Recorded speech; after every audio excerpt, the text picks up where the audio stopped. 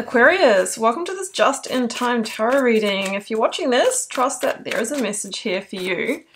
And Aquarius, your message begins with the end of a tough cycle approaches. Yes, yes, yes. And it's great to know that as the year is coming to a close, it is time to put the struggle behind you. And you might just get a helping hand this week. Full moon and the Capricorn energy coming through. And the Capricorn energy for me is always, you know, to do with our earthly resources, assets, our money, our home, maybe our work. Maybe there's been a struggle there. Well, that is coming full circle, full cycle, full moon energy. And then we turn over a new leaf in 2024. So I love seeing that energy there. And Capricorn, of course, is the devil and the major arcana. So something that maybe you've been feeling out of power with, you finally overcome. All right, yeah, you finally overcome liberation, freedom from a hard cycle. This is a judgment energy for me, which comes before the world, the last major arcana, where we close out a cycle, where we graduate, where we, you know, achieve a huge victory. And things come into balance. So you're freeing yourself from a struggle. You're being told that you're liberating, you know, and the end of a tough cycle approaches. Let's go to the tarot. I'm using the Accurate AF Round Tarot. And for you, Aquarius, the first card out is the Nine of Swords. Yeah, well, I mean, this is where you're coming from.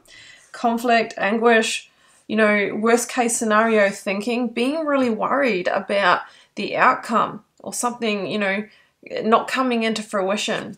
This is what you're overcoming. This is absolutely what you're overcoming. The moon, yeah. What you don't know yet is that there is a new path that is revealing for you. I mean, the moon is about hidden blessings. It can talk about also revealing truth or revealing insight, knowledge, information. It's a card of intuition. So you might also be getting strong intuition. And of course, that is, you know, our inner wisdom is really where the truth lies. Three of Swords. Okay. So we've got a, a, disappointment, loss, a severing of ties here with the Three of Swords, maybe an upheaval or a release. It's the end of a tough cycle. So maybe the tough cycle actually, um, you know, reaches some kind of crescendo here where we do need to sever ties. Maybe that is the portal or the gateway to liberation. So you need to really ask yourself, does this serve me anymore? Or is it time to say goodbye? The Three of Swords is a three for a reason, Aquarius, because it's the number of the Empress. So I always say that it's a it's a gateway or portal to rebirth and to creation. Yeah, Four of Pentacles, which is an energy of stability and security, but it can also be an energy of holding on to false senses of security and not really wanting to let go. But we've got to remember there's a cost and a payoff for that. Now, the cost is you know, staying in the Nine of Swords or staying in the tough cycle. You might be staying in a situation just because, you know, there is fear of the unknown. But, you know, that the payoff for going through that upheaval, Three of Swords, is liberation, is freedom, is being able to rise like that angel or phoenix. And the Page of Cups is here. Wow. I mean, the Page of Cups for me is always this energy of returning to joy and happiness it is often an unexpected situation. Right, this might have been unexpected, this shift, but you're being told that it's going to end a tough cycle for you. And the Page of Cups brings you the Ace of Cups, an emotional new beginning. So you might learn something, you might learn some information or learn a truth that has you go through the upheaval, the severing of ties of Three of Swords release yourself from a false sense of security. But you're being told that this liberates you and it's actually the end of a tough cycle. So you might have been putting up with a situation, you know, you might have been putting up with a situation that just isn't healthy for you, Aquarius. That's kind of what I'm getting here.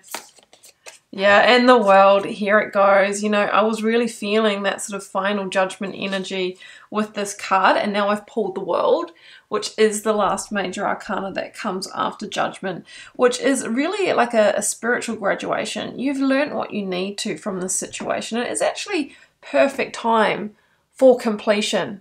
So that in 2024, you're opening up a whole new cycle and you powerfully, vulnerably step through into that. This is a victory card. This is a win.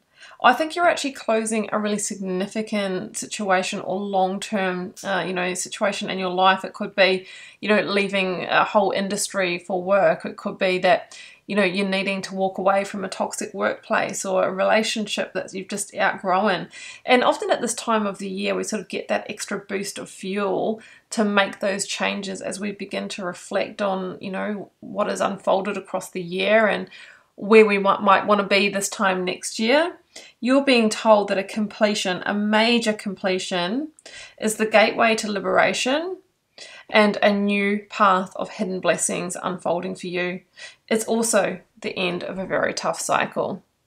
So I'm going to leave it there, Aquarius. I do hope you enjoyed this message. If you would like to tune this for your personal circumstances, please do follow the first link down below and you can pop over to my website and check out what I offer there. Don't forget to like, share, comment. Please do hit subscribe on your way out. That makes all the difference to these readings keeping on coming. I'd be really grateful for that. And I am just wishing you all the love and magic. Do take care. Bye for now.